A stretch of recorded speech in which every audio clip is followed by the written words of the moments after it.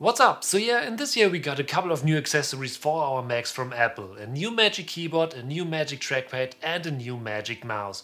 But new isn't actually the right word here, they mostly got a new color. But for me, I actually upgraded my Magic Mouse because my older Magic Mouse is still one of those where you need to change batteries all the time.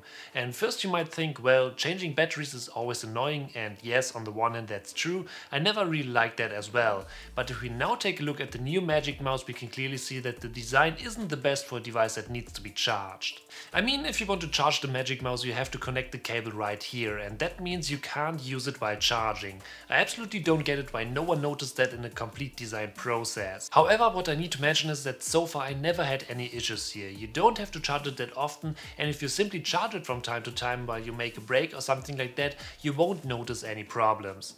But still it's a major downside and I don't really know why Apple decided to place it right there.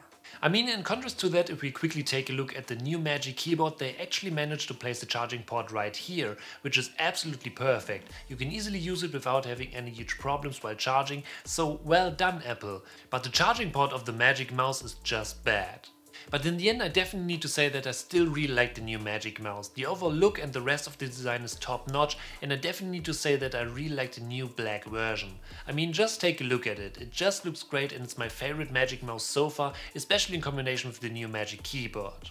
But yeah, the main question is, should you buy the Magic Mouse 2022? And well, if you want to switch to the new Space Gray design, absolutely. I can highly recommend it, it just looks great. But if you already have a Magic Mouse at home, I would say no, because it's not a huge upgrade here, except you still use one with those batteries. I mean, for sure the charging situation is not perfect here, but in my opinion it's still better than the battery version. So if you like to use the Magic Mouse, you will like the new 2022 version as well. But yeah, these are my thoughts about the 2022 Apple Magic Mouse. So, thank you for watching, I hope you enjoyed this video and if you're new, don't forget to smash that subscribe button to stay updated for our upcoming videos and I'll see you in the next video.